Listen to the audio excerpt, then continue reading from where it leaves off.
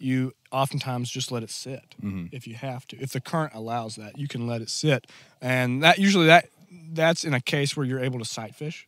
So when you're able to actually see a smallmouth, say I'm going to fish to that smallmouth, see your fly, and you can play cat and mouse with that smallmouth. You can let that thing sit there, and oftentimes that's the most effective way to do it.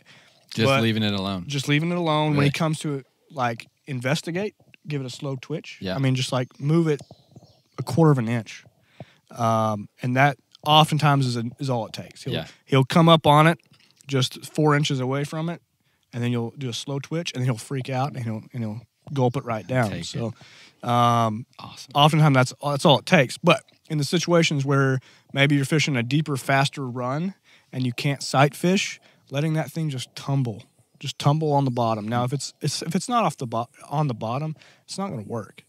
It is a useless fly if it's not on the bottom. You got to be all the way down. hmm It's got to be on the bottom. I don't think I've ever caught a smallmouth on a crawfish pattern off the bottom of the creek. Yeah. So it's got to be on the bottom.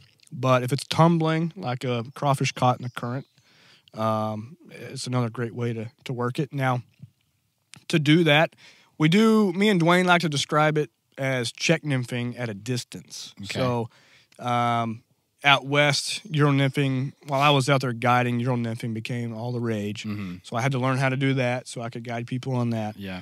Um, but essentially, you're tight lining right in front of you, you know, right below your your fly rod. Um, but with the creek crawler, you're doing the same thing, but at a distance. So what you're doing is you're you're casting. Um, what I actually like to do is cast beyond where I want to fish, and basically lift my rod, drag, and drop, Mm. And it, that sends that crawfish straight to the bottom, and then I'll come tight to it. And basically, it's on the bottom now. I have I'm in contact with the fly, and I can feel it tumbling, and I'm kind of just holding the fly rod up parallel with the with the water, nice and high, and I can just feel it tumbling along the bottom, and then you'll feel a tap tap tap, and then set the hook. Yeah. got a smallmouth on.